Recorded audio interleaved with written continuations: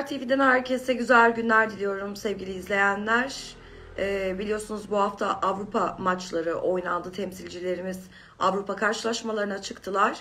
Ee, dün akşam da biliyorsunuz Fenerbahçe Ludogorets ile karşı karşıya geldi ve maalesef e, yenilgi aldı. Ee, sevgili Senadok'la birlikte birazdan değerlendireceğiz karşılaşmayı. Kendisi de geliyor. Tabii öncesinde e, e, kendisini rahmet ve saygıyla anıyoruz. Hoş geldin. Hoş bulduk. Çok, profe- çok profesyonelsin. Tık diye aldın Aa, yayına. e, Aynen. Biraz bir- zor oluyor ama şimdi yeni Yok şeyde. vallahi Se- Serkan'a selamlarımı gönderiyorum ben. Öğrenecek yavaş yavaş. Ama yok o, o da o da gayet güzel sevdiğimiz bir kardeşimiz, arkadaşımız. Gayet güzel keyifle yayın alıyor. İkinize de ayrı güzel keyifle yayınlarımız Teşekkür, oluyor. teşekkür ediyoruz. Evet sevgili Senat. Valla Evet. e, beklemediğim bir yenilgi aldı Fenerbahçe. Niye E, beklemediğim bir yenilgi? beklemiyordum açıkçası. Hı. Yani çünkü hani Avrupa'da biliyorsun e, favori Şimdi gösteriyor şu anda Nergis, Nergis Fenerbahçe. şöyle bir şey var. Ee, lafını kesmek istemem de şimdi şunu anlamak lazım. Ee, buradan da izleyicilerimize de sevgilerimizi, selamlarımızı gönderelim. Arkadaşlar bir takım düşünün.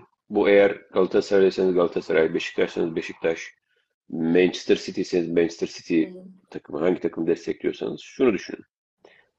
Ee, özellikle Ludogorets maçı için söylüyorum. Trabzon maçını ayrı konuşuruz, konuştuk, konuşuruz. Şimdi bir, bir takım düşünün ki 5 stoperinden hiçbiri yok. Evet. Stopersiz yani Yusuf kardeşimizi tebrik ediyoruz. İlk maçı gayet basit, sade. Sağlam oynadı. Eyvallah. Ancak yani bir stoperin olmadığı bir yerde bile bocalayan takımlar var. Senin hiçbir stoperin yok. Ve bence daha da önemlisi Fred yok. Orta sahada Fred yok. Fred'in olmayışı İsmail'e geri çekiyor. Evet, Bu evet. nedenle Fenerbahçe'nin ben bu durumunun geçici olduğunu düşünüyorum. Ha, burada İsmail Hoca'yı ben Trabzon maçını eleştirdim ayrı ama hani bu maçla alakalı ne yapabilir diye düşündüğümde mesela şunu söylüyorum. Ya hocam mesela ya Umut niye oynamıyor? Daha fazla niye oynamıyor? Niye ilk 11'e başlamıyor? Mesela aklıma gelen isimlerden biri. Hani bunu söylüyorum ama spesifik olarak Ludogorets gibi gerçekten disiplin oynadılar. Hoca değişikliği de işe yaramış. Disiplinli alan kapattılar. Çabuk geri koştular. Ee, sert oynadılar. E bir de şimdi Fenerbahçe'nin yediği gole bakıyorsun. Şimdi geldim o kısma. Yediği golde de savunma hatası yok ya. Olağanüstü bir şut. Evet, ilk gol Olağanüstü bir şut. kesinlikle evet. Ya şimdi burada e, hani Livakovic'i de eleştirebiliriz. Eleştirenler var. Ancak arkadaşlar ya dünyanın en iyi 7. kalecisine sahip şu anda Fenerbahçe. En son yapılan oylamada en iyi 7. kaleci seçilmedi mi? Evet. Ben öyle hatırlıyorum. Ve bazen kaleciler de etkili şutlara karşı bir şey yapamayabilir. Ve adam inanılmaz bir şut çıkardı. Kimse beklemiyor. Hatta takım arkadaşlarına bakın. Onlar bile inanılmaz şaşırıyor. o Nasıl bir gol diye. Bu yüzden Trabzon maçını ayrı bir kenara koyarak söylüyorum. Ludogorets maçında puan kaybı olması ya da mağlubiyetin olması ben çok eee, şaşırmıyorum. Sebebi de şu. Bir, sonuçta disiplin takım. E, sert oynuyor. Çabuk geri koşuyor. E, golü de buldu. Golü bulduktan sonra istediği şekilde e, oyunu yönlendirmeye çalıştı. Ve daha da önemlisi Fenerbahçe'nin oyun sisteminin çökmesine sebe sebebiyet veren takımlar var. Bu, bu sakatlıkları hangi takım yaşarsa, yaşarsa yaşasın. Allah ne oldu? Yok. Bak, kulağımız zarı patlıyordu o yüzden. Bir şey yoktu kulağımız zarı gidiyordu yani sevgili Nergis. Bir şey yok derken Bilgisayarın şarjı bitti. Evet. bilgis. Serkan neredesin Serkan? Ah Serkan bak Serkan Serkan Serkan'a saldık başımıza geleni görüyoruz. Serkancığım ben bir daha kulaklığı çıkartayım bir daha öter mi? Yok kapandı zaten. Ha, çünkü sağ kulağımda bir işitme kaybı.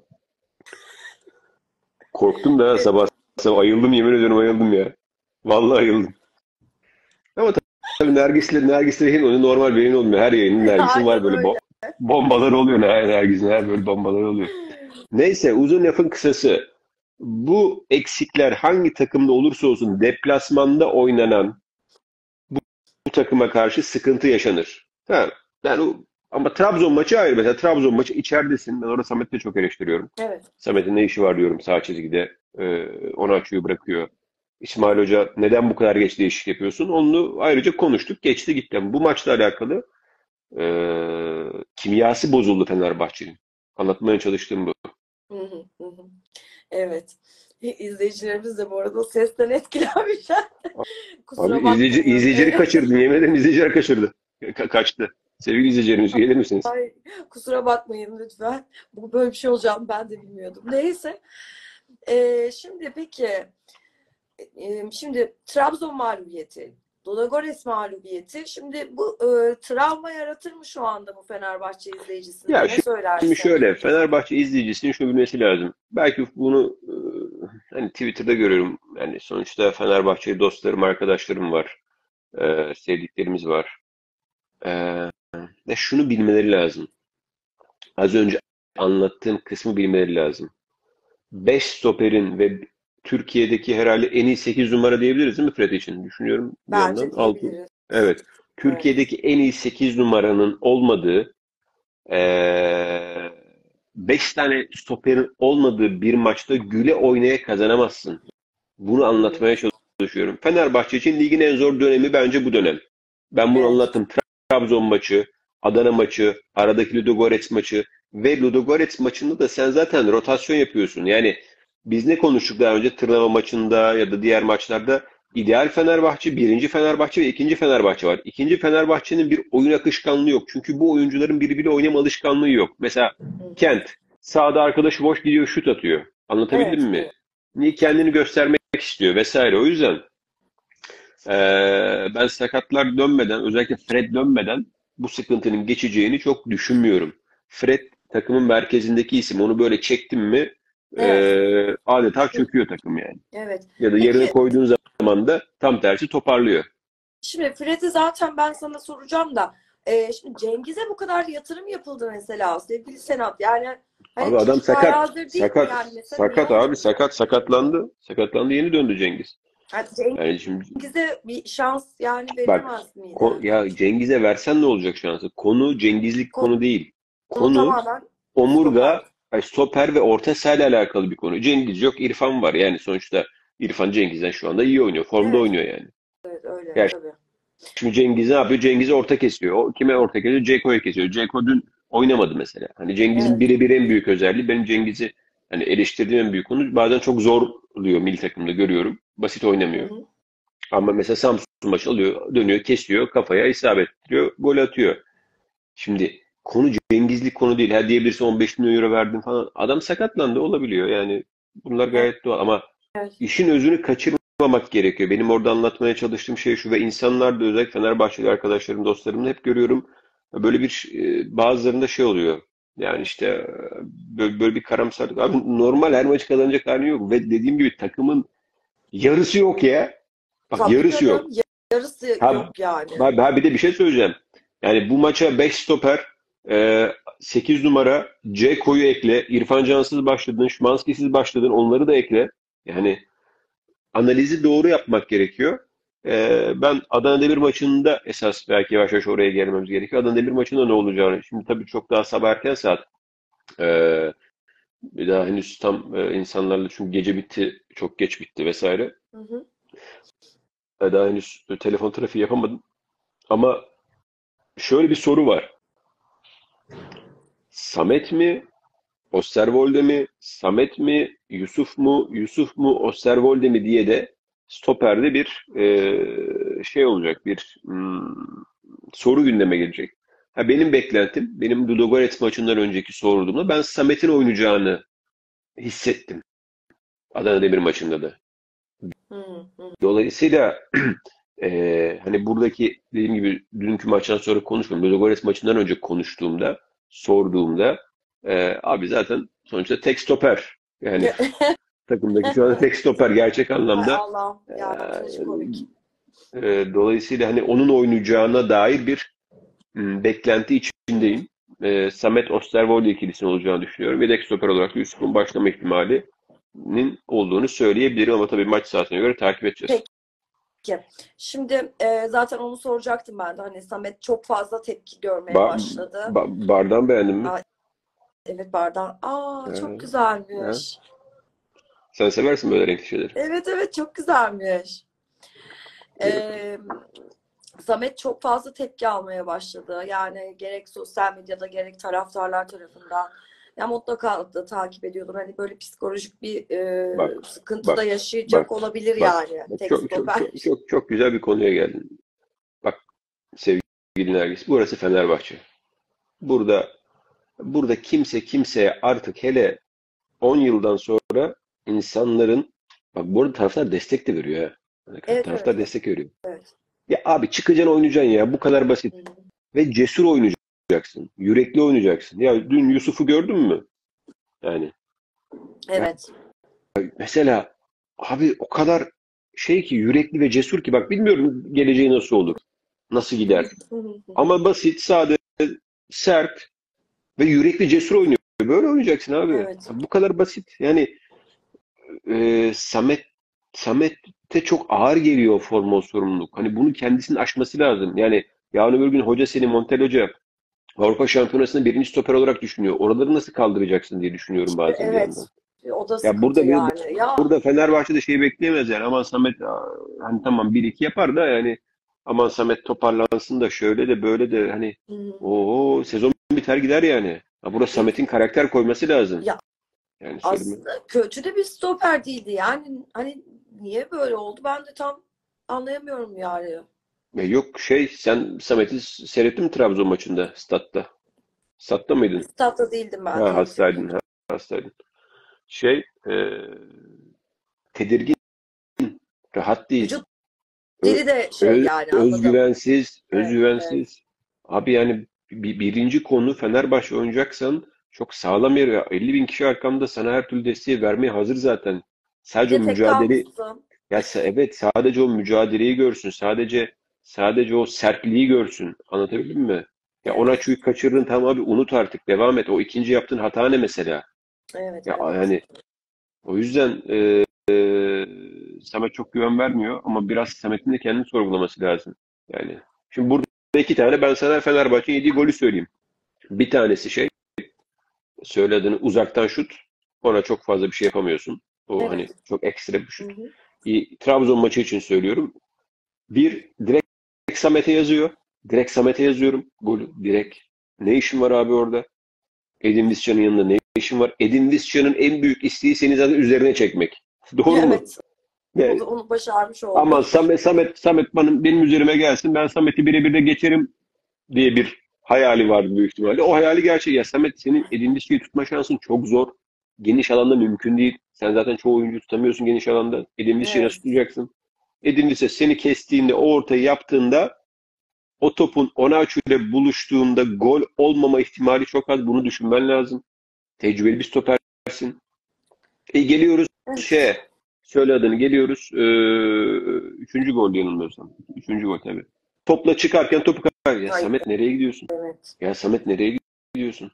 Şimdi bak burada İsmail Hoca eleştiri ama burası yani kimse kusura bakmasın. Hani Trabzon maçındaki mağlubiyetin e, yani sorunlarından biri de Samet'tir yani. Hani ben burada kişisel olarak yani de yani bir, bir tarzım ama anlayamıyorum yani anlayamıyorum. Bak hani oynayamıyorsan de ki kaldıramıyorum de bu, bu, bu da bir olgunluk ya hocam ben kendimi iyi hissetmiyorum. Evet tek stoperim vesaire Aynen. bilmem ne kaldıramıyorum ya Ona yani göre başka bir yapamam. çare bulunur Evet yani. Hani evet ve ve ve bir de en güvendiğin yerden darbe yiyorsun maçta yani. Yani Trabzon maçında en güvendiğin adam Samet diyorsun. Samet toparlar diyorsun savunmayı. Savunma Samet toparlamaya çalışıyor. Evet. Ya zor gerçekten yani Fenerbahçe çok talihsiz zamanlar geçiriyor Ha, yani mesela- şu anda. Mesela bu kadar sakatlık niye var sorusunun cevabı sorulabilir. Hani Adele sakatlığı, tendon sakatlığı, pardon kasık sakatlığı var şeyde Fred'de. Bunlar sorulabilir. Hı hı, Hani hı hı. işte Galatasaraylı oyuncuların e, Muslera ve Icardi iğneyle oynuyor. Evet. Fenerbahçeli oyuncu. Hı. Şimdi bir de şunu söyleyeyim. Ee, bu gayet akla gelen mantıklı bir soru olabilir. Ancak her sakatlık aynı değildir. Yani ben şimdi Icardi ile Muslera'nın sakatlığını tam Tabii Icardi'nin hatırlıyorum Beşiktaş maçında darbe vurdular. Muslera'nın da elinde bir Evet, problem şey- vardı. Şey çıktı, dirseği çıktı. Ee, dolayısıyla bak kaleci çalıştırıcısıyla ilgili sorular da geliyor. Onları da belki konuşuruz. Hı. Her sakatlık aynı değil. Yani Icardi ile Bekao'nun sakatlığı aynı değil. Muslera ile Fred'in sakatlığı aynı değil. Anlatabildim mi? Hani bunu da anlatmaya çalışıyorum. Ee, bunu bunu da e, e, bir şekilde detaylı şekilde anlamak lazım. Sonuçta Fenerbahçe büyük ihtimalle bu sezonun en zor döneminden geçiyor. Evet. Adana Demir maçında da puan kaybı olabilir. Bak açık net söylüyorum. Olabilir yani gayet normal. Hele hele Fred oynamazsa burada Fred oynarsa diye bir senaryo da var, bir ihtimal de var. Fred oynarsa nasıl oynayacak? O da önemli. Yani sen şey değil ki bu oyuncak gibi kur hemen aynı performansı versin değil yani. Tam form tutmuşken yaşadı bir de sakatlığı. Şimdi hani tabii ki de eski o hani Ya bir de tedirginlik var Nergis. Tedirginlik var. Kasıktan sakatlandı tedirginlik var. Şimdi her Evet. her topa giremezsin. Tabii. Ayağını açarken Evet. kafanda hep şey var yani. Ben şahsen oynamasının risk olduğunu düşünüyorum. Ama Aha. tabii ki doğal olarak sağlık heyeti, teknik heyet e, en doğru kararı e, vereceklerdir. Özetle Fenerbahçe son iki maçta niye puan kaybetti sorusunun cevabı Fenerbahçe'nin eksikleriyle alakalıdır. Fenerbahçe'nin bu eksikliğini yaşayan dünyadaki her takım puan kaybı yaşar. Trabzon maçı ile ilgili ayrı olarak İsmail Hoca'yı eleştiriyorum. Niye eleştiriyorum? İkinci yarıya hamle yapmadan başlaması sebebiyle Hı hı. eleştiriyorum. 3-0'dan sonra maçı büyük ölçüde o da şoka girdi izlediği için eleştiriyorum. Ama genel çerçevede de 8 ve 8 numara ve stoperlerin olmayışıyla alakalı da doğal olarak tam, takımın omurgasının sarsıldığını görmek, bilmek ve bence çok da fazla panik yapmamak lazım. Evet. İyileşince e, yavaş yavaş toparlar diye düşünüyorum. Ee, Freddy ben sana bir kez daha sorayım. Şimdi herkes bir şey oldu çünkü. Evet Ee, şu Adana Demir maçında oynama ihtimali var. Var. Ama ben e, Ludogorets maçından önce, Trabzon maçından sonra sorduğumda kesin olmamakla beraber bir risk de var. Yani hani dolayısıyla normal şartlarda şunu anladım. Bu benim yorumum. E, e, Fenerbahçe'de eğer Fred'in yerini biraz olsun doldurabilecek bir oyuncu ol, olsaydı bu soru gündeme gelmeyecekti zaten. Ya da Fenerbahçe Trabzon maçını kazansaydı Fred oynasın mı sorusu gündeme gelmeyecekti Adana Demir maçında. Evet. Hani dolayısıyla sanki biraz orada e, yetiştirmeye çalışacaklar gibi bir durum ortaya çıkıyor. Bu benim kendi edindiğim izlenim, Ha. konuşmalarımdan, sohbetlerimden edindiğim izlenim yani. Yani tabii yani sakatlığı da tam geçmeden aman yani. Çünkü o da çok büyük risk baktığın zaman. Tabii, Ve tabii. yani en önemli oyuncun neredeyse hani o da e, önemli. Peki e, bir son sorum var. O da Trabzon maçında bir görüntü var. E, sen denk gelmişsindir mutlaka. Batshuayi Ferdi'nin üzerine Ya, yürüyor. Ya olur Gördün öyle şey. mü? E, dün gayet iyilerdi beraberler. Ya bunlar çok şey değil ya, çok önemli. Ya gördüm oldu. Sağ Sonradan ya bunlar şu an Fenerbahçe'nin Fred, Batshuayi. Bu arada Batshuayi de biraz daha hani kendini vermeli. Yoksa ben naçizane Batshuayi'den bahsetmişken eee, ben artık Batshuayi'nin yerine Umut'un oynaması gerektiğini düşünüyorum. Açık net söyleyeyim. Hı hı. En azından Umut daha ciddi, daha daha konsantre, Daha umut verici. adı üstüne daha umut verici. Ya ben Batshuayi biliyorsun ne kadar beğendiğim, sevdiğim bir yani senle tabii. programlarda söyledik. Ama dün takım oyun kuracak. Batshuayi kritik noktada gidiyor topuk pası yapıyor. Böyle bir acayip paslaya Batshuayi topu tutup normal bir pas versen önce yani. Bir topuk pası yapıyorsun. Takımın tüm set oyununu taca atıyorsun yani. Evet.